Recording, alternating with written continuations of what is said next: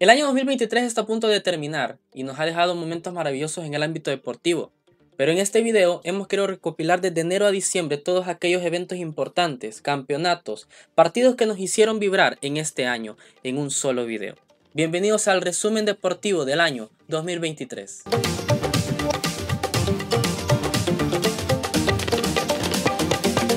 El año empezaba con una nueva disciplina. Gerard Piqué e Ibai Llanos, más otros 11 influencers, creaban la Kings League InfoJobs. Una disciplina de fútbol 7 que traería a revolucionar lo que conocemos como el fútbol actual. Con cartas, reglas diferentes y estrellas internacionales, entre ellas el Kun Agüero, que volvió a las canchas después de muchos meses.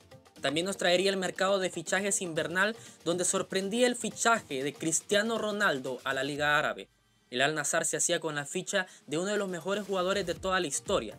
Así también en Sudamérica, Luis Suárez fichaba por Gremio. El actual campeón mundial, Enzo Fernández, pasaba del Benfica al Chelsea y la novela de Mikhailo Mudrik entre el Chelsea y el Arsenal daba fin a que el ucraniano fichaba por los Blues. Teníamos el primer clásico de la temporada en la final de la Supercopa de España. Barcelona y Real Madrid se enfrentaban en Arabia para definir al campeón de la Supercopa donde el equipo Blaugrana se llevó el primer trofeo del año a nivel de clubes. mes de febrero empezaba con el Super Bowl 57 donde enfrentaba a Filadelfia y a Kansas City en la gran final. Un partido que se definió en los instantes finales donde Kansas City se llevaba el Super Bowl 57 en Arizona. De, de Estados Unidos viajamos a España donde en la Kings League regresaba un ex balón de oro. Ronaldinho jugaba con el equipo de Villanos Porcinos FC. El Mundial de Clubes del 2022 se disputaba hasta febrero de este año, donde el campeón sería nada más y nada menos que el campeón de Europa, el Real Madrid. Mientras el Madrid era campeón del mundo, el Fútbol Club Barcelona era eliminado por el Manchester United en Old Trafford de la UEFA Europa League. Mientras que en la Champions el City eliminaba a Leipzig, Benfica al Brujas, el Madrid tenía una serie increíble ante Liverpool donde los merengues se llevarían la victoria. Milan eliminaba al Tottenham, Napoli al Frankfurt el Chelsea al Borussia Dortmund en instantes finales, el Bayern eliminaría al PSG de Messi y el Inter al Porto. Mientras el PSG era eliminado, Lionel Messi recibía el premio The Best 2022. Bastante de este premio pesaría el haber conseguido la Copa del Mundo con Argentina. De ahí regresamos en marzo a la Kings League. Así empezaría el mes con la primera Final Four de la Kings League donde reunía Tronco Science, Aniquiladores y el Barrio. En la gran final el equipo del Barrio pasaría por encima 3 a 0 Aniquiladores y se proclamaría el equipo de Adri Contreras como el primer campeón de la Kings League Infojobs. Mientras tanto, nos quedamos en España ya que se disputaba el clásico de clásicos. El Fútbol Club Barcelona recibía al Real Madrid en un partido importantísimo en la liga, disputándose el primer lugar. Los Blaugrana ganarían 2 a 1 con un gol en minutos finales de Kessier y así ampliar su diferencia en la liga mientras el Madrid vería alejarse la liga, eliminaría al Chelsea en cuartos de final de la Champions, el Inter eliminaría al Benfica, el AC Milan eliminaría al Napoli y el Manchester City al Bayern de Múnich. Nuestra selección tenía su primer compromiso oficial en el año y enfrentaba a Estados Unidos en tierras norteamericanas. La selección del Salvador terminaría perdiendo en tierras estadounidenses con un marcador de 1 por 0. Nos trasladamos al mes de abril, donde nos traería una edición más del clásico. Esta vez eran las semifinales de la Copa del Rey y tras un partido de ida apretado donde el Barcelona ganaba 1-0, el Madrid le tenía que dar la vuelta en Camp Nou. En un partido increíble de Karim Benzema y en un partido increíble de Karim Benzema y de Vinicius Jr., el Real Madrid golearía 4 0 al Barcelona en el último clásico del Camp Nou antes de su remodelación. En semi de Champions los emparejamientos se daban entre el Real Madrid enfrentando al Manchester City y en el Derby de Milán, el Inter contra el AC Milán. Tras tener sede ya del Mundial del 2026, en este mes también nos traerían una de las polémicas más grandes de todo el año y es la revelación del logo del Mundial de Estados Unidos, Canadá y México 2026. Un logo que fue muy criticado porque es demasiado simple a lo que estamos ya acostumbrados pero así se el logo del Mundial del 2026. En mayo empezaríamos a conocer a los campeones de liga.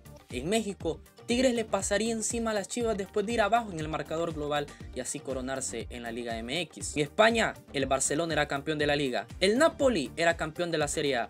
El Manchester City ganador de la Premier. El Bayern en la última jornada fue campeón de la Bundesliga y el PSG en la Ligue 1. Vimos la final de la Copa del Rey donde el Real Madrid volvió a ganar este título de la mano de Carlo Ancelotti, venciendo 2 a 0 a los Asuna. Además, como ya es costumbre, el Sevilla volvía a ganar la Europa League, esta vez venciendo a la Roma de Mourinho en tanda de penal.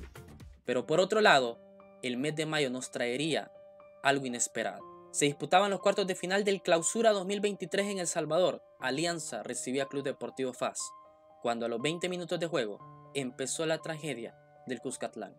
Al siguiente día la primera división traería un comunicado donde el clausura 2023 quedaba suspendido y en El Salvador no habría nuevo campeón. El mes de junio empezaría con un ex balón de oro, regresaría a la Kings League. Shevchenko, el ucraniano, jugaría para el equipo de DJ Mario Ultimate Móstoles un partido en la Kings League. Tendríamos al campeón de la Conference League. El West Ham United le ganaría a la Fiorentina en la gran final de dicho torneo. Además tendríamos campeón de CONCACAF. El León sería campeón de ese torneo sorpresivamente al vencer a Los Ángeles FC con marcador de 1 por 0. Pero el partido que traería todas las miradas en este mes era la final de la UEFA Champions League. Manchester City e Inter de Milán se enfrentaban en Estambul para definir al nuevo campeón de la Champions. Un partido que dejó demasiadas emociones y que se definió por la mínima tras un gol de Rodrigo al minuto 67 que pondría arriba a los Citizens y así le daría la primera Champions a los dirigidos por Pep Guardiola. Y hablando de finales, la NBA tendría sus finales donde enfrentaría a Detroit contra Miami Heat. El equipo de los Nuggets barrería la serie 4 a 1 y así conseguir el primer título de su franquicia en la NBA. Tendríamos también la inauguración de los Juegos Centroamericanos y del Caribe San Salvador 2023. Después de 21 años, El Salvador recibía nuevamente estos Juegos. Una fiesta increíble donde El Salvador atrajo las miradas de toda Latinoamérica, quedando como una de las mejores organizaciones de dichos Juegos. Así también tuvimos competencia de selecciones, la Liga de Naciones de la CONCACAF coronaría un nuevo campeón y en este caso sería Estados Unidos al vencer a México en semifinales y en la gran final al cuadro canadiense. La Liga de Naciones de la UEFA también obtuvo un nuevo campeón en una final donde España derrotó a la Croacia de Luka Modric. España que llevaba un par de meses nada más de haber contratado a su nuevo entrenador Luis de la Fuente, ganaba su primer título de la mano de su nuevo técnico. Asimismo empezaba el mercado de fichajes de verano Benzema dejaba Madrid para irse a la Liga Árabe. McAllister fichaba por el Liverpool. Y el fichaje de la temporada, Jude Bellingham, se hacía oficial para el Real Madrid.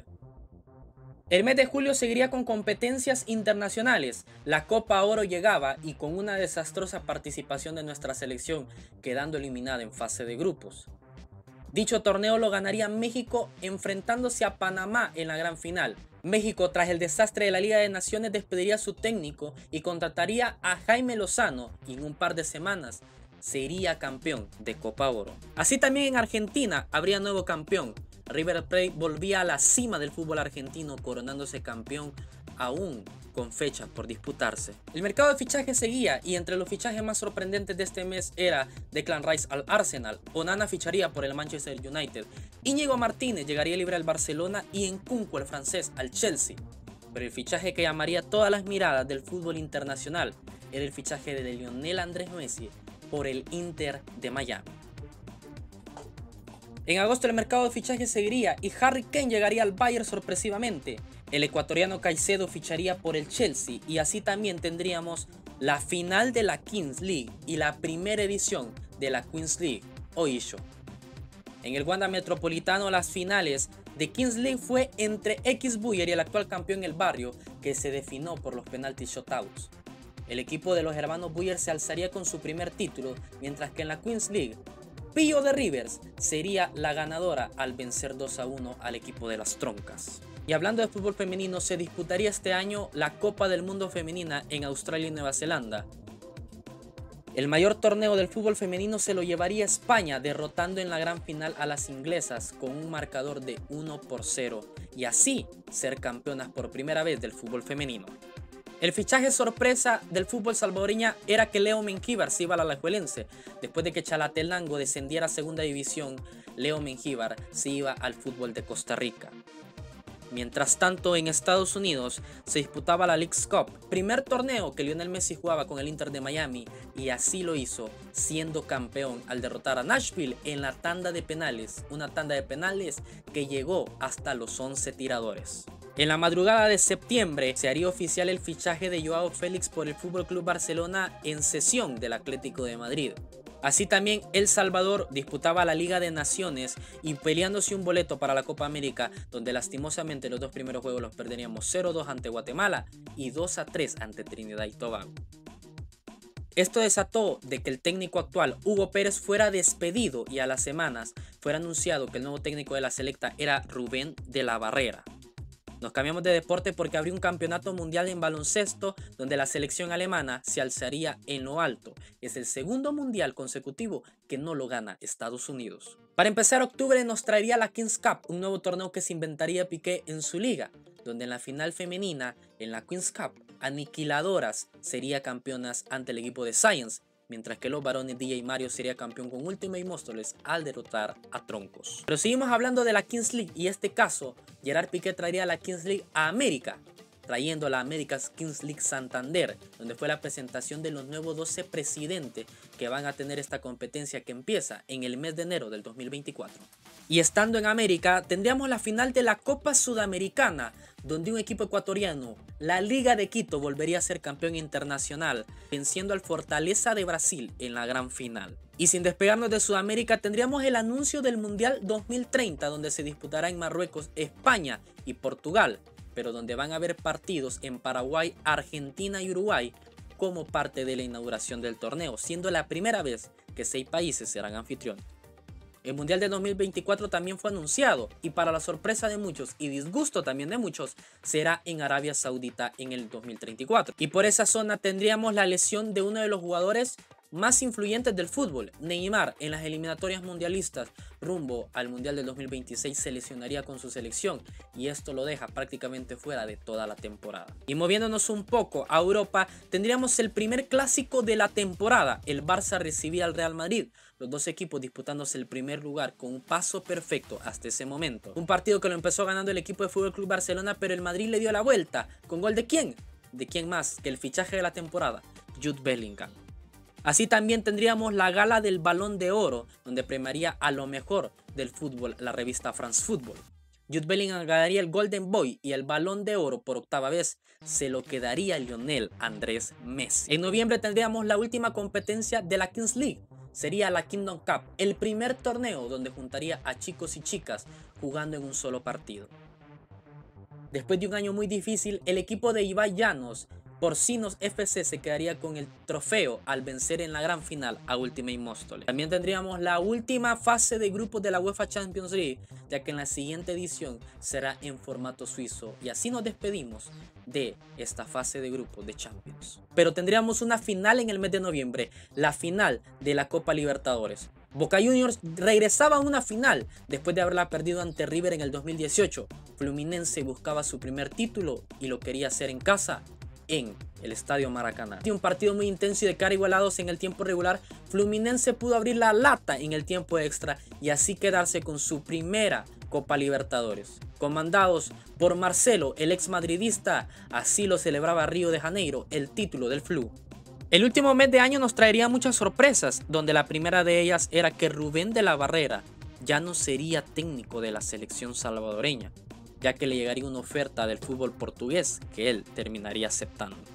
Tendríamos el sorteo de los octavos de final de la Champions League para este 2024. Los emparejamientos quedaron de la siguiente manera. Copenhague ante el City, el Leipzig ante el Madrid, PSG ante la Real Sociedad, Lazio ante el Bayern, PSV ante el Dortmund, Inter contra el Atlético de Madrid, Porto ante el Arsenal y el Napoli ante el Barcelona. Así también hubieron campeones, empezando en México, donde el Club América vencería en tiempo extra a Tigres, el actual campeón del torneo clausura. Las Águilas del América lograrían su título 14 en la despedida de Miguel Ayun. Otra águila que fue campeona fue el equipo del Club Deportivo Águila en El Salvador, como campeón de la Apertura 2023. El equipo de Águila terminó como líder invicto en el torneo y así se coronó, goleando en la gran final 3 a 0 al sorpresivo Jocoro.